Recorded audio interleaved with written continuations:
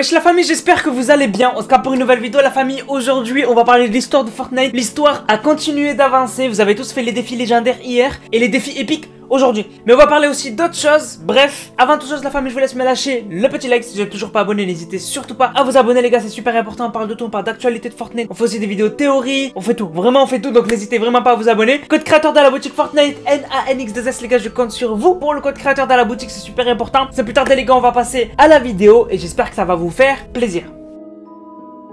Donc comme vous le savez, les défis légendaires et les défis épiques de Fortnite font continuer l'histoire de Fortnite. Donc on va regarder les défis légendaires qu'on a eu hier et les défis épiques d'aujourd'hui. D'abord les défis légendaires de hier. Alors c'était Sloan, encore une fois, la chef de l'institut onirique pour l'instant, euh, qui du coup en fait nous, nous donnait des nouvelles instructions dans la cabine téléphonique.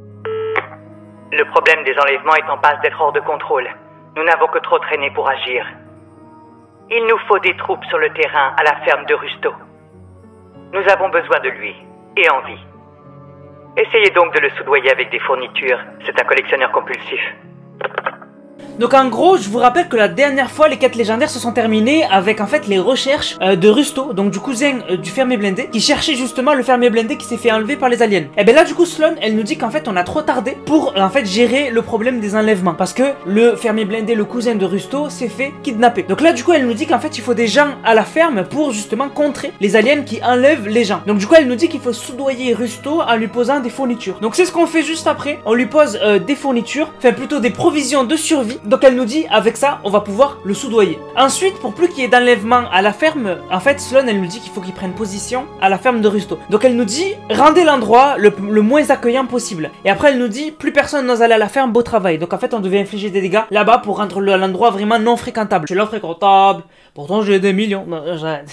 du coup, après, on devait utiliser un taureau gonflable. Ce défi-là a été désactivé parce que le taureau gonflable a été désactivé. Bref, en tout cas, elle nous disait, les extraterrestres ont l'air d'adorer les bovidés, mais savent-ils différencier les faux des vrais? Donc en fait, on devait utiliser le taureau gonflable parce que tu te transformes en vache, quoi. Et, du coup, après, elle nous dit, ils sont tombés dans le panneau, l'opération faux vidé est approuvée. Donc là, en fait, Sloan, elle fait tout pour que les enlèvements du côté de la ferme s'arrêtent. Parce qu'aussi, il faut pas oublier que, en fait, onirique ont fait leur base à la ferme juste à côté. Donc si les aliens commencent trop tourner autour de la ferme de Rusto, ils vont sûrement aussi trop tourner autour du QG de l'institut onirique. Donc c'est pour ça qu'elle fait tout ça, Sloan, en fait. Ensuite, on a dû placer des leurres de vaches. Donc elle nous dit, allons pêcher de l'extraterrestre, poser des leurres bovins. Et après, une fois que c'est fait, elle nous dit, voilà qui devrait donner à ruminer aux extraterrestres. Donc en fait, d'après Sloan, en fait, les extraterrestres enlèvent les gens dans les endroits où il y a des bovidés, où il y a en fait des vaches, etc. Et ensuite, à la fin, elle nous dit infliger des dégâts à une soucoupe pilotée par un extraterrestre. Donc là, en fait, on doit attaquer des aliens, clairement. Et donc, du coup, elle nous dit des soucoupes pilotées par des extraterrestres sont en vol, allez en abattre une. En fait, ils récoltent des infos. Et une fois qu'on a fait ça, elle nous dit il ne devait pas s'attendre à ce que ces ovnis prennent feu. Donc quand elle dit ovni, elle parle d'objets volants non identifiés. En gros, elle dit que les aliens ne devaient pas s'attendre à ce que leur, euh, vaisseau prenne feu quand on leur tire dessus. Et après, elle nous dit, les données sont précieuses. Donc là, en fait, Sloan, elle voit comment on peut battre les soucoupes des aliens, qui sont un peu, voilà, leurs véhicules, euh, voilà, qui sont les plus menaçants, puisqu'ils volent, ils peuvent faire des attaques, etc. Ils peuvent même enlever les gens. Donc du coup, Sloan, en fait, elle regarde comment les détruire, comment les combattre. Et là, du coup, elle a vu que quand on leur tire dessus, ils prennent feu. Donc elle nous dit que c'est des données très précieuses.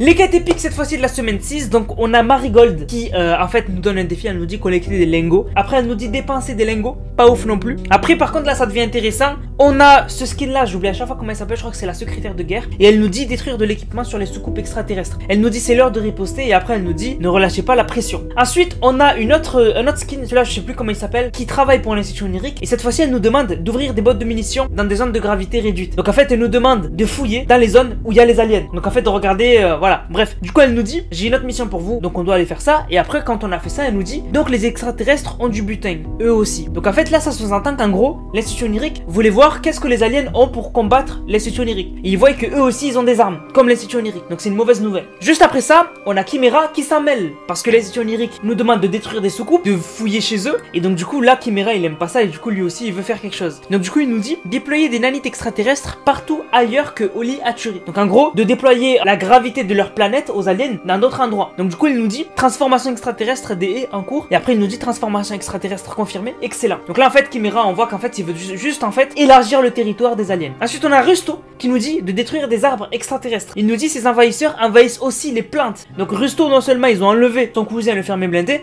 mais en plus ils envahissent les plantes. Et donc du coup il nous dit de l'hybridation avec des extraterrestres, je ne laisserai jamais faire ça. Donc il voit qu'en fait les extraterrestres prennent trop de terrain et du coup il nous demande de les arrêter. Et après pour finir on avait euh, un défi de la hippie là qui nous dit planter des arbres, planter des arbres au passage des souches, au food truck couvert ou à Radio Fortnite. Radio Fortnite, par contre, je sais pas où c'est. Enfin bref. Et après, elle nous dit quand on prend une chose à la nature, il est important de lui rendre autre chose. C'est comme si les poils de Gaïa repoussaient. Voilà. Donc rien de ouf dans les quêtes épiques. Voilà, on a juste l'institution onirique et Chimera qui se battent euh, ensemble. Mais sinon, après, on n'a pas eu de quête vraiment très très très intéressante. L'avancement du vaisseau, si vous allez à Coral Castle, vous allez voir que le vaisseau s'est de plus en plus approché. C'est normal, le vaisseau un jour va s'ouvrir et peut-être qu'on aura même un mini événement. Voilà, j'ai entendu des rumeurs de mini événements, parce qu'on aurait des serveurs d'événements de Fortnite qui auraient été utilisés récemment, enfin bref, je sais pas. Mais en tout cas, Coral Castle va être détruit du coup le vaisseau s'en approche de plus en plus. Donc l'heure fatidique arrive. Je vous rappelle que normalement, on aura euh, Coral Castle détruit la semaine prochaine, lors de la mise à jour 17.20. Donc la mise à jour 17.20 c'est mardi prochain. Donc du coup, normalement, euh, d'ici là, le vaisseau sera au-dessus de Coral Castle. Vraiment bien au-dessus, on aura vraiment le milieu du vaisseau qui sera au-dessus de Coral Castle. Donc il me tarde de voir ça. Et là vraiment on voit déjà que le vaisseau a pas mal avancé. Il me tarde de voir qu'est-ce que Fortnite nous réserve après que Coral Castle ait été détruit. On sait ce qui va se passer. Je vous en ai déjà fait une vidéo. Vous voyez voir les stations oniriques au cratère, bref, etc. Mais j'ai envie de voir vraiment les détails, etc.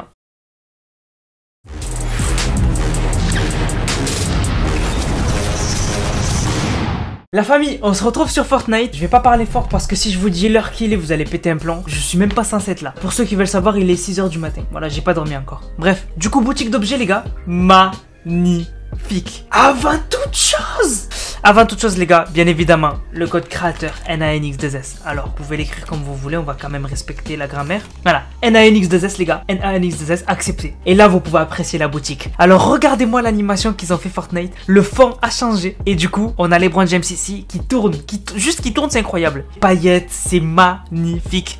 Donc du coup, on a les James en Tune Squad, le, le début d'un nouveau succès avec son sac à dos. Ok, donc lui, ok, c'est validé. Ensuite, on a cette emote là.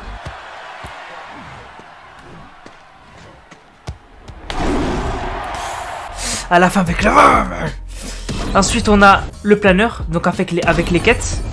Donc le planeur, en fait, ce qui est cool, c'est que vous pouvez, en fait, augmenter l'or dessus, en fait, vous voyez Ici, il n'y a que ça d'or, et là, vous, voyez, je suis à 4, si je me mets à 10, il y en aura plus. Il y a tout ça quand je me mets à 10, et si je me mets au max, il y a vraiment tout, tout, tout ça, voilà. Donc c'est très stylé. Euh, par contre, il fait un bruit de fou. Ça, c'est la pioche. Donc, aperçu des styles, elle aussi, on peut la rajouter en or. Voilà. Donc, ce que ça donne au... Et ce que ça donne au milieu. Ok, très stylé. Et si on utilise... Ok, elle a, un joli son. Donc là, c'est le pack d'équipement. Donc il a 1800 V-Bucks. Et là, 2500, le pack King James, carrément. Donc après, on a des, on a des trucs de foot. Euh, de trucs de foot, de trucs de, de ballon. De basket, je vais y arriver. Les gars, il est 6h du matin. Ce qu'on peut faire, c'est acheter ça directement. Donc on va s'équiper de celui-là, s'équiper de ça. Ça, je m'en occupe pas. Ça, je m'en équipe. Suivant, suivant. Acheter le pack. Bam. Et s'équiper, s'équiper, s'équiper. Suivant, suivant. Ok. Et là, du coup, normalement, j'ai tout de King James. Va, va, va, va, va. Du coup, les gars, on va aller en labo. On n'a pas besoin d'aller en parc. On va aller en labo et on va... Ah non, d'abord, je vais vous montrer les quêtes. Du coup, j'ai eu des quêtes, là. Ok, elles sont là. Donc elle fait des dégâts des joueurs dans plusieurs parties. Elle fait des dégâts des joueurs dans plusieurs parties. Elle fait des dégâts des joueurs dans plusieurs parties. Elle fait des dégâts des joueurs dans plusieurs Ok, donc il faut juste infliger des dégâts, de ce que j'ai compris. Du coup, on va à la labo, les gars, et on va voir du coup ce que ça donne le, le, planeur, etc.